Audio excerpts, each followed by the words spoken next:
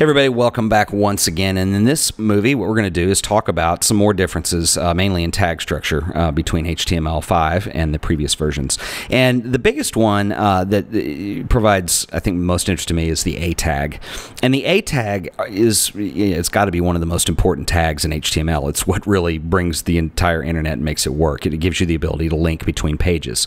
Okay, so without that, you're stuck on one page. So if you think of like all the technologies that are the big thing now, like Twitter, Facebook, social media, all these things. I mean, none of it would be possible without that A tag. So uh, this is arguably, I think, the most important tag um, that HTML deals with. Now, in previous versions, here's the XHTML example. Let's say you had three elements. You had an image, you had an H1, a header tag, and you had a paragraph, and they all link to the same thing. Okay, so this is the follow me on Twitter thing, and here's the link.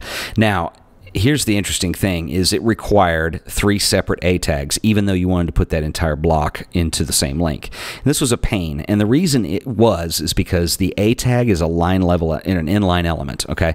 So you could put it in the middle of a paragraph. It would not provide carriage returns, things like that. It would flow with the text. And so it made sense that you could not uh, wrap block level elements inside inline elements. So that's why you had to do all those. Well, the A tag did get an overhaul in HTML5, and now you can wrap multiple elements inside an A tag. Okay, so you can see here it is. Here's our image, here's our H1, and here's our paragraph. They will all link within this wrapped A tag to this address. Now, here's the one rule on this is that you cannot put an A tag inside of an A tag. Okay, but that's really it. You wouldn't want to have a link inside of a link. That, for obvious reasons, would be difficult to interpret where you're trying to go once you clicked on it. So that is not allowed. But uh, they've they've taken that off, and, and, you've been able to put multiple elements inside an A tag. So that's pretty important.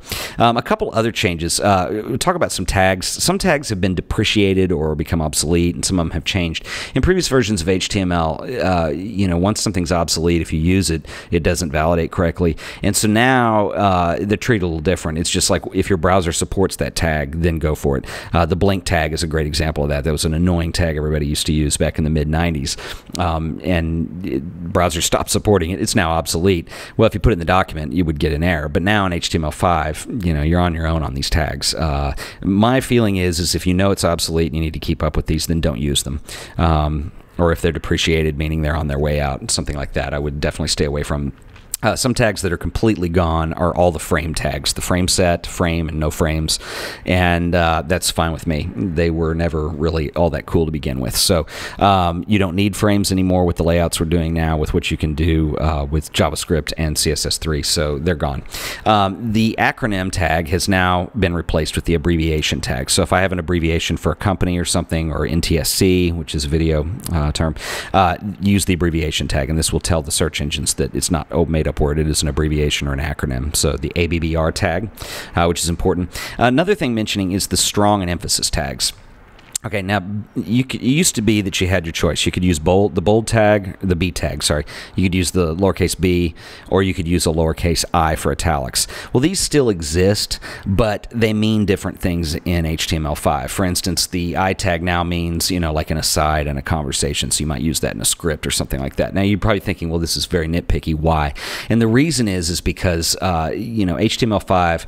If you look at like the technology that's come on in the last couple years with mobile devices and and even now televisions that are internet compatible, um, they're thinking outside of the web browser on this. And so you might have text recognition or something like that that requires different meanings in those different tags. And so this is what they've settled on. So I would just start from, from now forward using the strong tag if you need this text to be in bold, and use the emphasis tag or the EM tag if you need uh, something in italics. They'll just work like that. Uh, one other tag I want to talk about is the cite tag. It's a citation tag. And this is typically used for, uh, this is a weird one. This is used used for uh, citing a source on something, so like a book title or a movie title. So I put Gone with the Wind in here. Now, typically, uh, the spec, this is what's weird, is the spec says you can't put people's names in here. And that seems really weird and backwards, but why would that be the spec? Well, because uh, this, browsers will render cite tags in italics, and typically people's names are not in italics are not displayed in italics. So that's why it's defined that way. However, if you're citing a source and you need a name in there, there's no way a validator is going to be able to tell whether it's a name or a book or whatever. So you know, knock yourself out. That's just a just a little thing to watch out for in there. Um, beyond this, uh, you can see that the, there's a lot of simplicity in this HTML5 document. Now, is not a complex document, but the framework is very simple. Um, another thing about HTML5 that's cool is is that a lot of the like how you write things is entirely up to you. You remember in XHTML, I remember it was very strict. Everything had all the tags must be in lowercase. You had to close them.